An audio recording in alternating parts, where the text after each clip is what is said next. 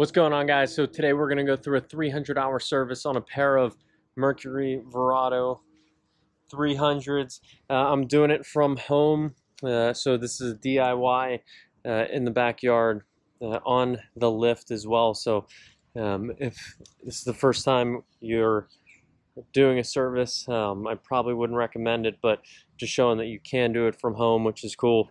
Uh, I did use this float uh, as well uh, and that'll help me out uh, to get the job done. So follow along. Uh, if you guys have questions, write them in the comments below. Uh, but make sure to subscribe, follow uh, for more fishing videos, videos on, uh, is it fishing, maintenance, anything boat-wise. Um, but let's get started. Okay, to get it started, you're going to remove the cowling. All it is is one push button and then a release handle. You're going to just pull up. Once you get it off, and you're set to go.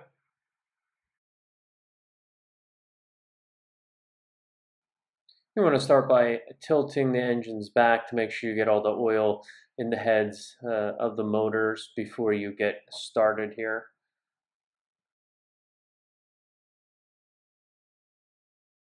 All right, to get rid of the oil, pull the oil, you're going to need uh, a 5 8 millimeter socket uh, as well as a 5 8 uh, interior diameter um, hose, which you're going to attach here to the bottom of the engine uh, on this bolt. Uh, so the key here is to make sure you have your bucket uh, under you and you're prepared and ready to go.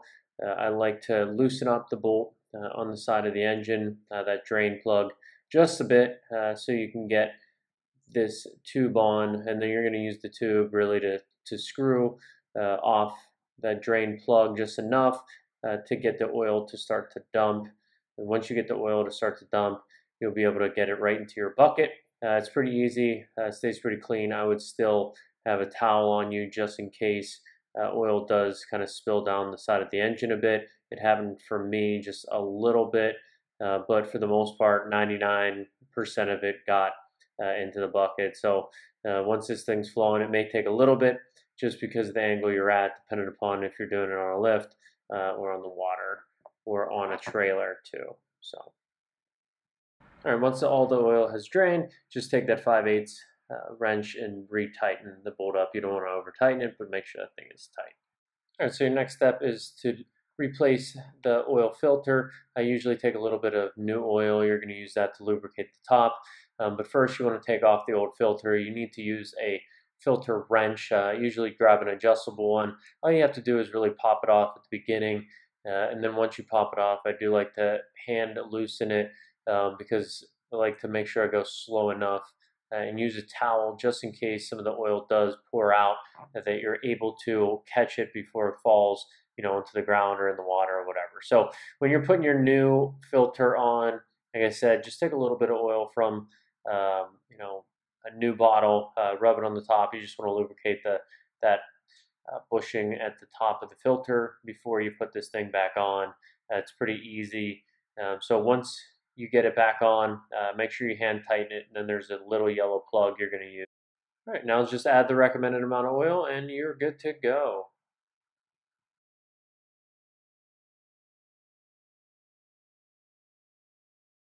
Okay, so your next step to remove the fuel filter.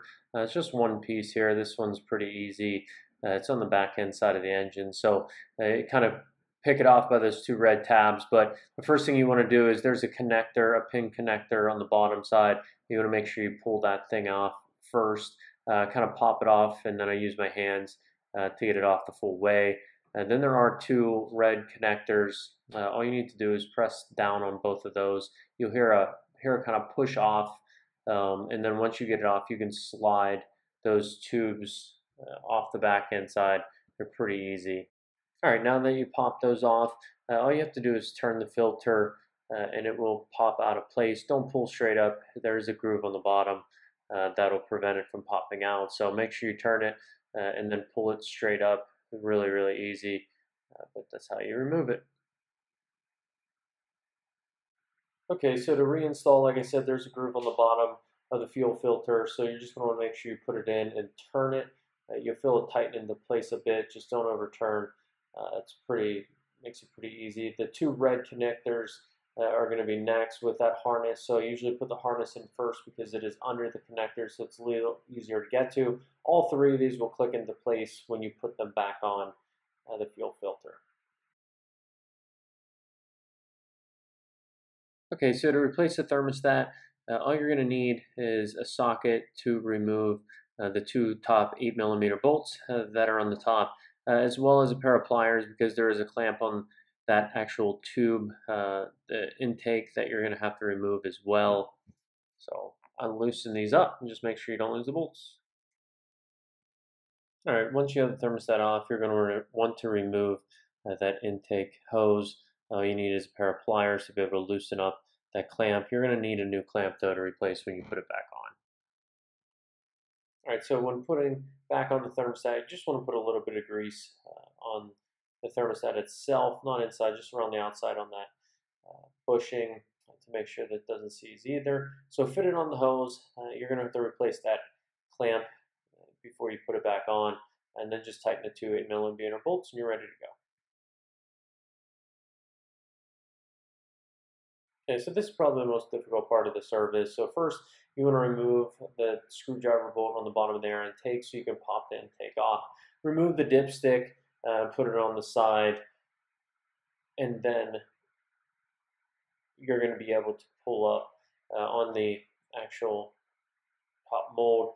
Uh, you may have to loosen up the tube on the side and just kind of pry it off. It's just for bringing air into that part of the engine. Um, and then wiggle this off the top. Uh, and then once you get it off, uh, you'll be able to access your alternator belt. So um, move the dipstick to the right, uh, and then you're going to start by kind of piecing in and removing uh, each piece so you can get to the alternator belt here.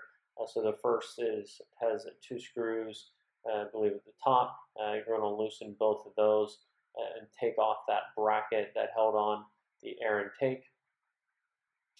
Okay, next loosen the two bolts on the top of the oil fill tube. And once you get this off, you're just going to move that thing to the right and out of the way there uh, so you can access the next piece.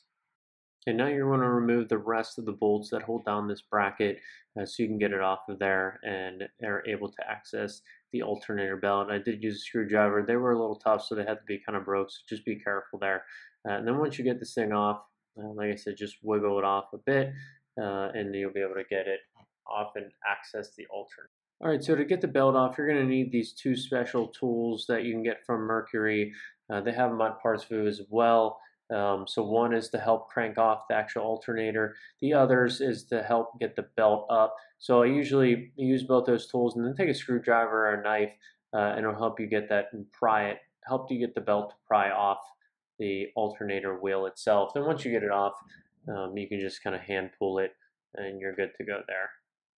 Okay, so once you get the belt off, you're going to want to uh, loosen up this motor on the top so you can actually slide the belt out uh, and replace it with the new one. So there just should be four bolts on the top. You're going to want to uh, loosen up. You don't have to remove this completely, uh, just enough so that you can slide the belt out and put a new one in. Okay, so once you got it up, uh, you can slide the belt right out uh, and put the new belt in. Just make sure you put it in the right way. Um, they should be uh, the same either way, but just double check. Uh, fit this in nice, uh, make sure it's sitting correctly, and then once you get it sitting correctly, go ahead and retighten the bolts uh, on the top of the alternator um, so that you can fit it back on. Okay, so now that you have the belt back on, you're going to use the same tool uh, to get this belt to tighten back on the wheel. So uh, all you have to do is kind of fit it. Uh, you're going to turn and hold that belt in place and it should be able to slide right back in pretty easy. Uh, go ahead and put the brackets back in uh, on the top the way that you have and tighten the two bolts on the top of the oil fill. Okay, so to remove the prop, all you're going to need is a socket uh, with the 1 and 1 16th um, bolt. I also have a piece of 2x4. I wrapped this up in a towel just so it wouldn't scratch, and then I had some paint on the wood too, so I didn't get it on there. Um, but that'll help whenever you torque uh, the propeller around uh, to prevent it from actually twisting on you. So once you get it off, Uh, there's a bolt uh, and three washers, I believe, that go with it. Uh, just make sure you keep those things in order uh, and don't lose any of the washers when you're done.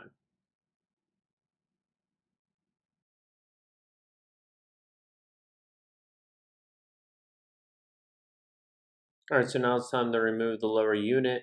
Uh, on the bottom side, there are five bolts. There are three quarter inch bolts, uh, two on each side and one in the back on the bottom. Is you're just going to remove those bolts to get the lower unit off. And the last bolt, uh, the fifth, is under uh, the bottom side of uh, the lower unit. So just loosen that one off. Uh, be careful because the nut will fall right out in case you're doing it on the lift. And my lower unit, uh, once I got all the bolts off, it didn't slide off really easy. So all I, all I did was take a little bit of CRC or uh, you could use any sort of lubricant. I just want to get it in the in the bolts um, and try to loosen this thing up. And then I took a, a mallet uh, and just tap the lower unit so that it will loosen up and come off.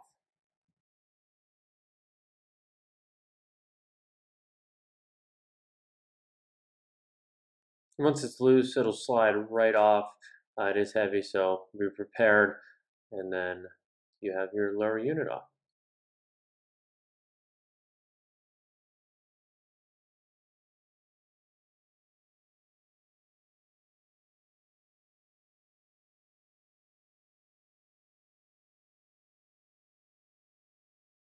Okay, now that the lower unit's off, uh, you just to drain the oil, oil you're going to pull the two 10 millimeter bolts uh, that are on the bottom side here. Uh, the key is don't pull them both at the same time. Uh, I like to pull the, the bottom one first and then I'm going to pull the top one. Uh, so the next time I do this service, probably I'm going to make myself a stand for the lower unit and make it a little bit easier on myself to dump the oil, but I had an old uh, cooler here that I used uh, so I could tilt the lower unit in there and get the oil out. But you know, once I pull that uh, the bottom one out and then pull the top one, it'll dump the oil pretty quick for you. And after about 30 minutes, uh, now it's time to put the oil back in. Uh, so I made sure I replaced the washers on each one of the bolts. Uh, and then the kit comes with a Gear-Lube pump uh, or you may have to just add it to it. Um, but all you're going to do is attach that to the lower bolt. Uh, you do want to leave the upper bolt uh, out because that's going to allow oil to come out there and you're going to know when it's full. Uh, so all you're going to do is screw that in, put this into your oil, and it should take about a full quart. Uh, so go ahead and pump and you can see the new oil pumping in.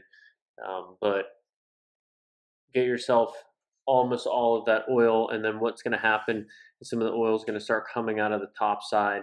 Uh, and then once it does, you just grab your other bolt, put that in, uh, and tighten it up. And then you can remove uh, the bottom side.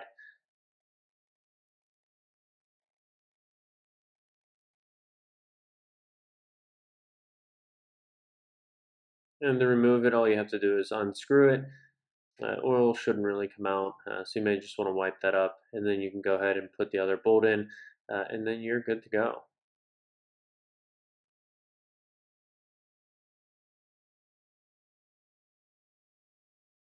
All right, so to remove the impeller, uh, you're going to remove the four 10 millimeter bolts on the top uh, of the gear case, remove the uh, intake right there. once you get the four bolts off, this is going to slide up pretty easy. There is a spacer on, on the top rubber spacer you'll have to slide up. Once you get the gear case off and just pull the impeller out, sometimes it gets get jammed in here a little bit. The kit that you got has everything that you need in it to be able to replace the impeller uh, and some of the seals in the gear case here. Um, so you have your impeller.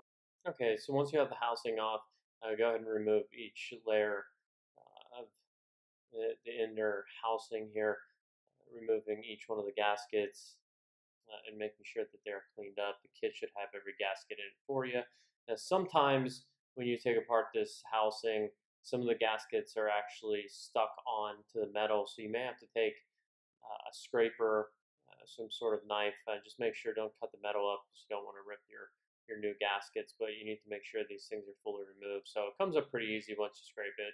Um, the next piece, uh, removing these plastic or these rubber seals uh, on each side. This metal. And once you get them out, uh, you can use that same knife too to kind of peel them out. Once you get them out, you can replace them really, really easy, and they just fit right back in there like that. Uh, so go ahead and put all the housing back on uh, all together. Uh, one kind of trick, and I think the hardest part was lining up the bolts and all of the gaskets. So I used one bolt and stuck it through each one of the holes just to line everything up. Um, but then once that's done, you can fit on your impeller and put back on the housing, and you're good to go.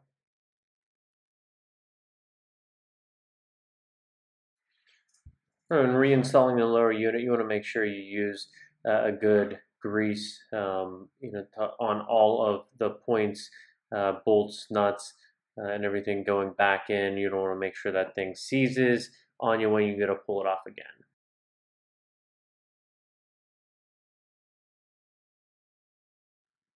All right, so the lower unit is heavy, so doing it by yourself and especially on the water can make it tough.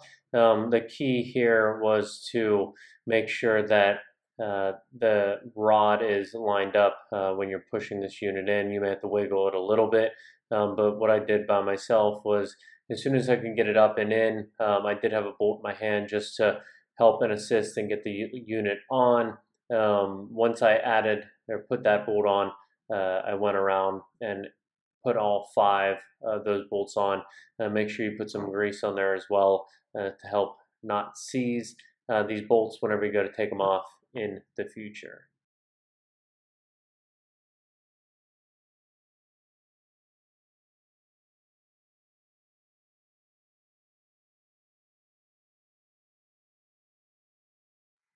Once you get them hand tightened, make sure to take the wrench and go back uh, and tighten these up uh, as much as you can. Just don't over tighten. You don't want to snap the bolts. Uh, and then you're good to go.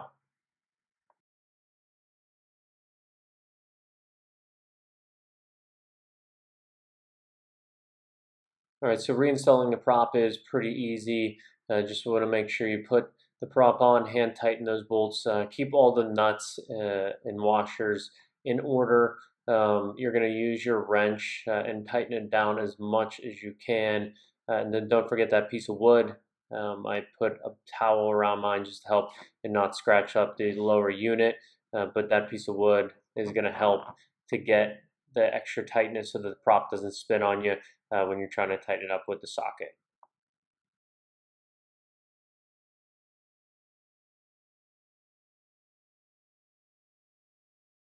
And change your plugs are pretty easy. So take a spark plug wire puller and pull off each one of the tops on each one of your spark plugs. Uh, then you want to grab a wrench or a socket drill and remove uh, each one of the spark plugs out of their place uh, and then replace with the new plugs. I tighten them up by hand and then I'll, I'll put a little bit of torque on them at the end, but um, that's about it. You just don't want to make sure you over tighten uh, each one of them. Don't forget to change those fuel water separators in the bilge as well. But thank you guys so much for watching. Make sure to jump down and click that subscribe button below uh, for more videos on fishing, fitness, and just blue water life.